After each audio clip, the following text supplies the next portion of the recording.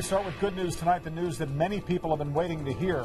The I-65 construction project in downtown Indianapolis is coming to an end. And it's happening earlier than expected. Everything will be back to normal tomorrow morning. But even before that, crews are opening up a large part of it right now at 6 o'clock. Good news. Our Mary Mills is on I-65 right now with what we've been waiting to hear. Mary, we survived 65. Oh my gosh, isn't this a great day? This is fabulous. After 34 days of detours and delays and trying to get around downtown, 65 is finally reopening. Now we're standing right along 65 at the 21st Street on and off ramps, and we were camped out here because this is where traffic, southbound traffic, was supposed to open up about uh, just a few moments ago. But take a look, and if we can go to Chopper 13, you are going to see that there's actually traffic in the northbound lanes. It's fairly light right now, but there is traffic. It is moving. That again, that's something we haven't seen in uh, more than a month.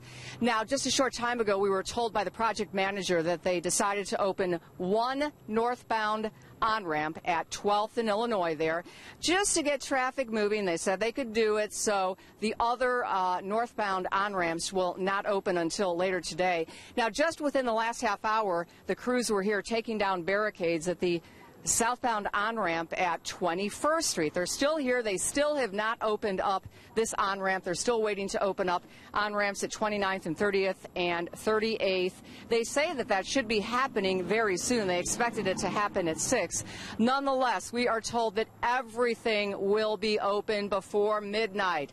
Initially, they were saying uh, 6 a.m. tomorrow, but they are uh, ready to open before midnight. And if you want to go back up to Chopper Video, uh, we can show you again and tell you why everything is opening. That's because they get a $50,000 bonus if they finish by midnight. Uh, if they were late, they would have paid $50,000. So for every second, I guess, after midnight, they're not getting that bonus. Uh, so they will be done. And we're looking down and we can see crews uh, at the, uh, what, 20, uh, 29th, 30th uh, area down there, and they're getting ready to remove those barricades. So that should be opening shortly, too. Again, the southbound ramps. So if you are headed home tonight, you're headed south coming from downtown, uh, you should be able to do that.